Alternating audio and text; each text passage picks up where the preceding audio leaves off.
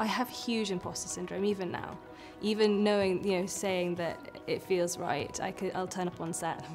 Oh, in the first half an hour, I will be looking around going, I'm not really meant to be here, am I? Every single time I'm on set, every single time I'm doing an interview, every single time I'm doing anything, the, the little voice in my head can be very loud and it's very difficult to sometimes rein it in and keep it under control.